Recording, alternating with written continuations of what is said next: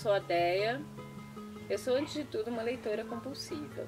E agora eu tô aqui para apresentar esse novo pequeno espaço dentro de um espaço maior aqui no YouTube, que é o Literatura no Quintal, que é um espaço de cultura e arte aqui na minha cidade, onde eu vou falar sobre os livros que eu leio, os livros que eu vou ler e outras coisas relacionadas à literatura que forem aparecendo por aí. Acho que todo mundo quer ser amado, né? O artista, mais do que ninguém, quer ser amado. Então você está tá buscando o outro, está buscando encontrar o outro, né? Quando você faz arte, você está buscando o outro. Está dizendo pro outro, está buscando quem compactue daquele seu diálogo, né? Daquele seu discurso. A loucura, quando dá a um grande número de pessoas, chama-se sociedade contemporânea. Quando dá a uma pessoa só, interna-se essa pessoa.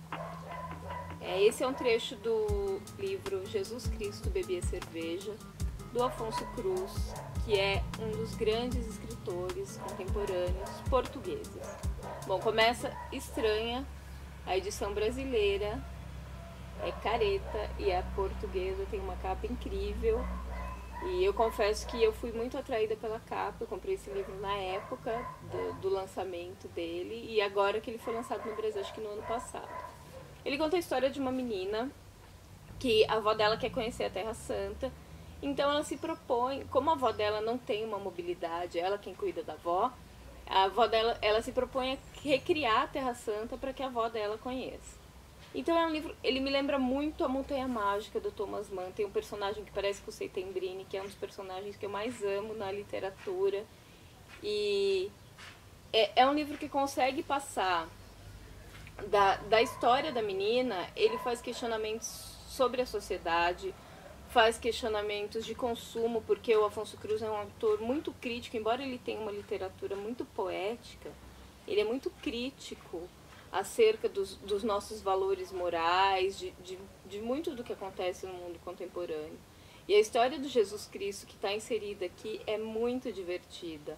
É interessante também nesse livro que ele passa de, de uma história super dolorosa, né? Que a menina tá perdendo a avó, que a avó tá sofrendo e tal.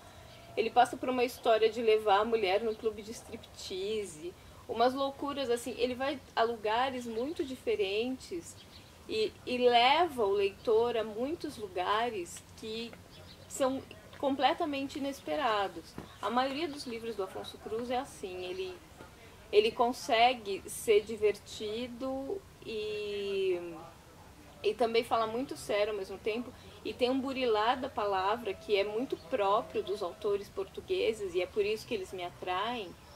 E, e é, é, muito interessante isso que acontece aqui. A, a apresentação portuguesa vem com um livrinho que é o livro que um dos personagens lê durante o livro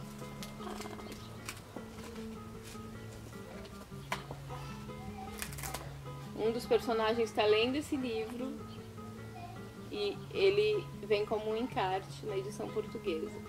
A edição brasileira não tem esse encarte. Eu não sei se, se vem a história aqui, eu acredito que não. Mas é muito legal, a morte não ouve o pianista. Então fica como dica de leitura Afonso Cruz, Jesus Cristo bebia cerveja e todos os outros livros do autor. É muito prazeroso falar sobre livros, é muito prazeroso ter uma oportunidade de dialogar sobre eles, mas é melhor ainda fazer isso que nem eu tô fazendo agora, aqui debaixo do maracujazeiro, todo florido com perfume que infelizmente as câmeras não conseguem captar. E então é isso. Vamos falar sobre livros, sobre literatura, sobre poesia. Sejam todos muito bem-vindos ao Literatura no Quintal, dentro do canal do Quintal